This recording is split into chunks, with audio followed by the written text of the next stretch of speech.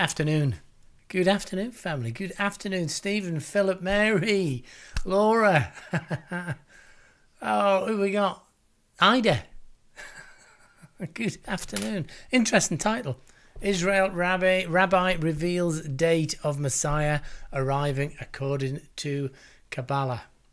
Well, I've got to read this article. I haven't fully absorbed it yet. Thank you to Brother Morley who sent this to me first as a DM. I think it's on breaking news in Discord.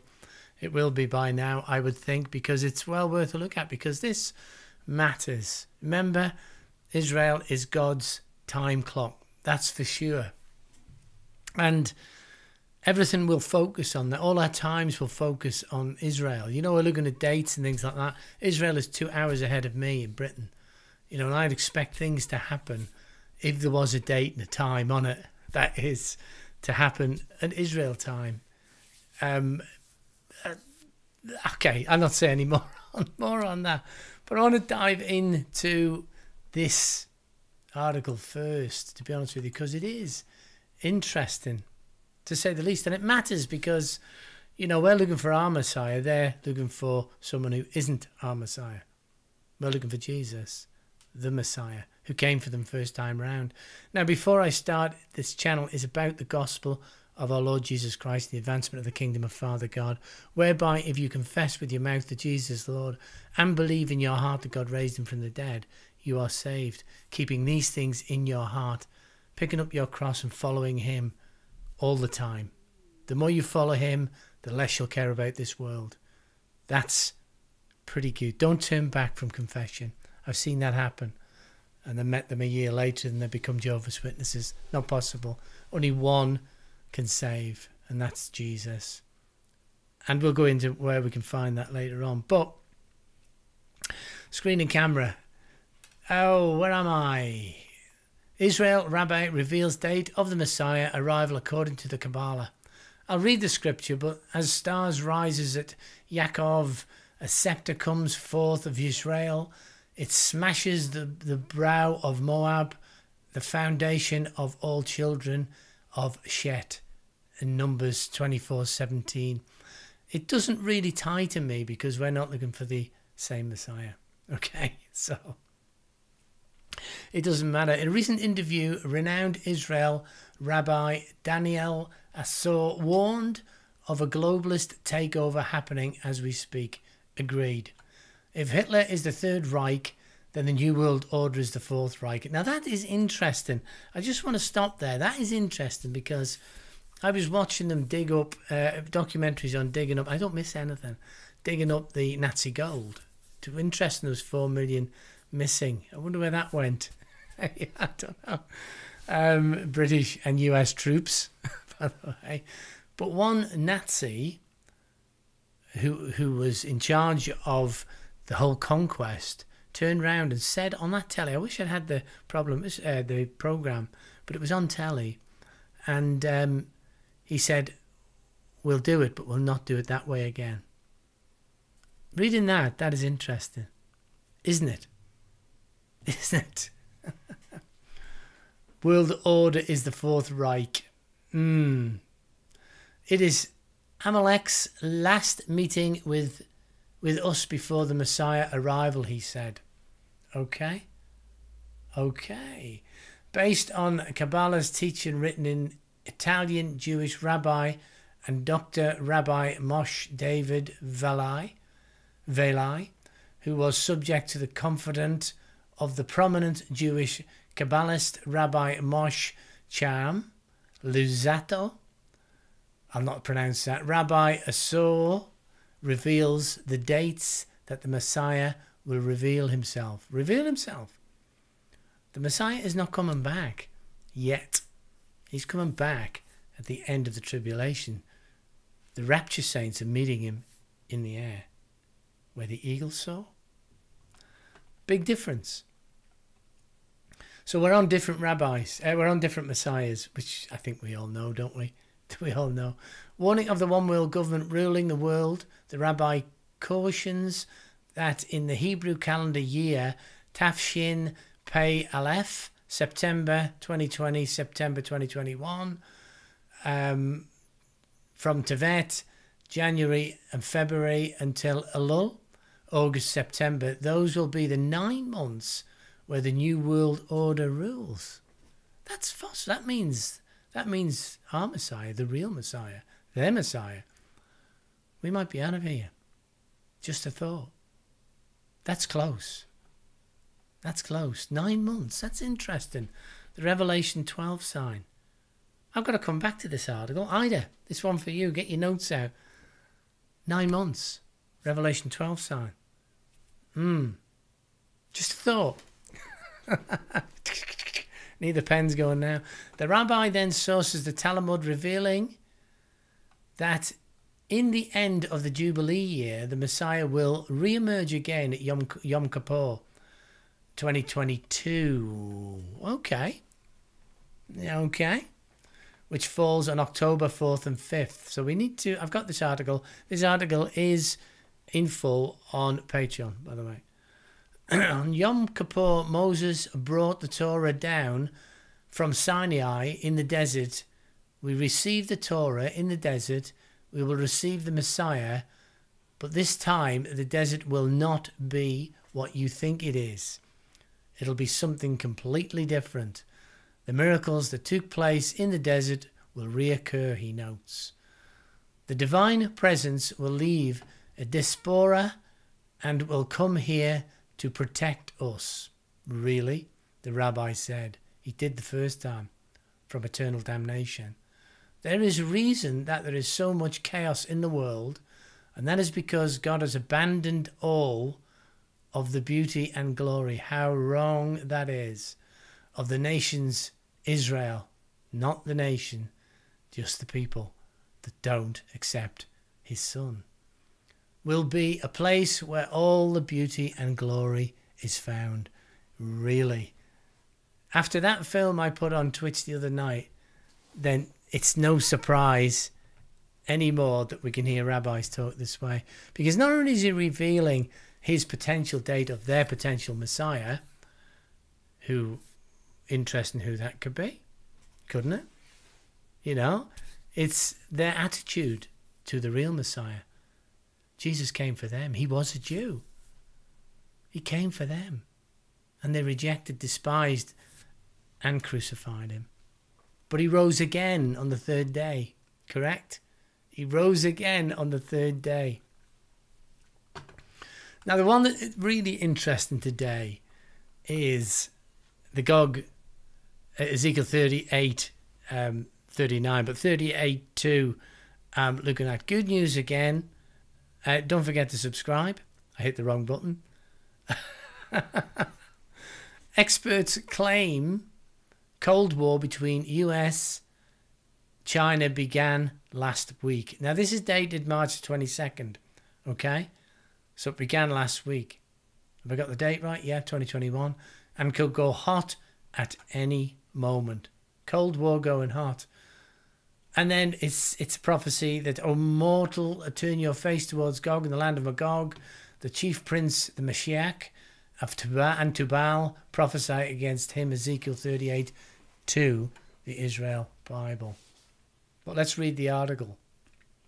Last Thursday, Chinese officials met with the, their American counterparts in Anchorage, Alaska, for two days, and by all accounts, the meeting was not friendly. The Biden administration called their first encounter with China tough and direct, tough and direct, but one expert said it was far worse than that, claiming that from the Chinese perspective, it was the first shot fired in the Cold War. Wow. Wow, wow, wow. Cold War. That means, oh, what does it mean these days? Cyber attacks, the whole nine yards.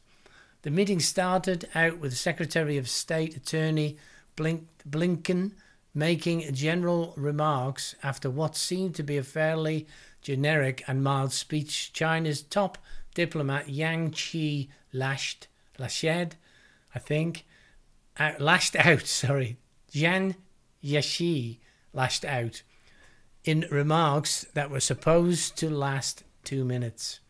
Yang spoke for 16 criticizing spoke for 16, criticizing the United States' struggling democracy, poor treatment of minorities, and criticizing its foreign trade policy. Wow, that's the pot calling the kettle black. The United States uses its military to force a financial hem- hegemony to carry out long arm jurisdiction and suppress other countries. Well, said Young, we which is what they're planning to do to America. So, oh dear, we believe that it is important for the United States to change its own image, image, and to stop advancing its own democracy in the rest of the world. So it is it is amazingly tense everywhere now. We know this. If we, if we don't know anything else, we know that Israel became a nation in a day in 1948. That was a major uh, a major sign that we can cling to in being the last generation as well as the Revelation 12 sign. So not many more prophecies to come, to be honest with you. Um, probably 18 that's it. We're close to going home. We're close to going home, brothers and sisters. It's time to pull together. You noticed I put out an encouraging video before as videos. Those of you on YouTube, sometimes the videos are done on Twitch and then posted over to YouTube. So do join us on Twitch, The Disciple Pete, it's called, and there is a link in the description. But they, the, my aim now at the moment is to get as many gospel messages out in the short period of time we are here. And I do believe it's a short period of time. Okay? We're seeing it China, America, Russia, UK now involved, heavily involved. Um, sides taken. The um, Abraham Accord, the peace plan, is is all but done you know, which is interesting. I'll be doing some more PowerPoints on prophecy.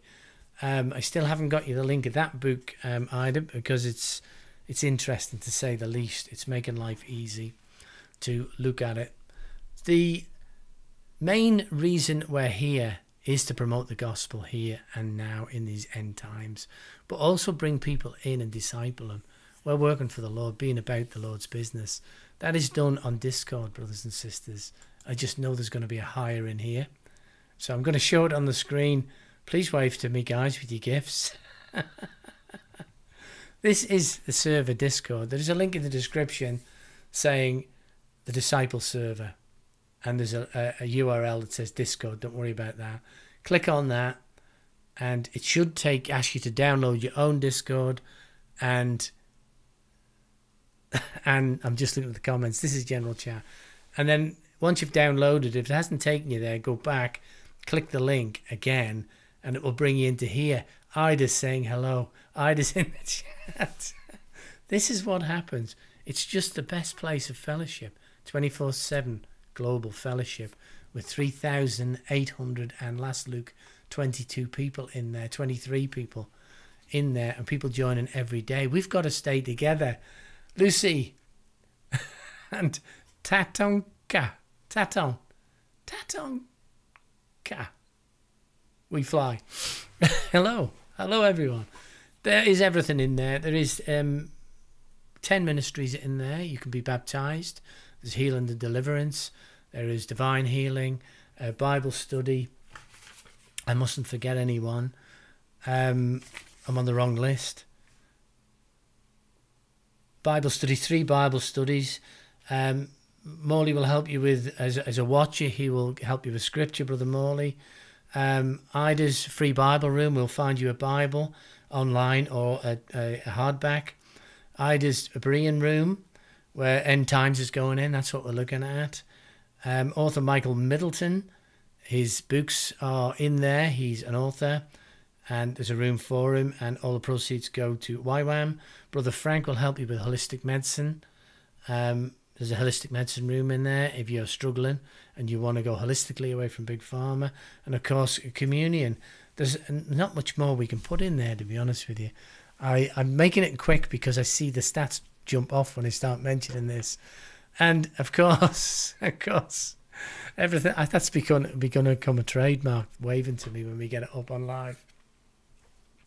But it is of just being together, Lampslit. Remember the virgins, you know, five, only five of them went, 50% of them. All of them were looking, but five of them didn't have enough oil in their lamps. So we need to be looking, as in Revelation 3 3, that we might not know the day or the hour. We are looking. I don't think we'll find an hour. I don't think we'll find a day. We feel it's soon because we know we're in the last generation, because everything has happened. And now we see it on the ground, all the signs getting ticked off like we're actually in there. Brothers and sisters, be strong, be together. Come in, counsel us so we can counsel you. Walk with us so we can both and all of us walk with the Lord. That's what's important. Let's go and reach the lost. Do you know there is a number? There is a number. God will change the dates. That's biblical. I haven't got the scripture at the moment, but He'll award things and do things differently. We know there's a number of saints to come in. That's in Romans. Let's get them in. Our destiny, to a certain extent, might be in our hands. Let's work hard. Let's get them in, clean them up, send them out so they can bring more. But let's win the Lord's people back from the enemy. Brothers and sisters, serious ones coming up. I will keep you posted on everything that does. Do join us on Discord or Twitch or any of the social medias that you have, Instagram, all in the description. And I'll leave you with may God bless you, keep you, make his face to shine upon you, and be gracious to you this day and always. God bless.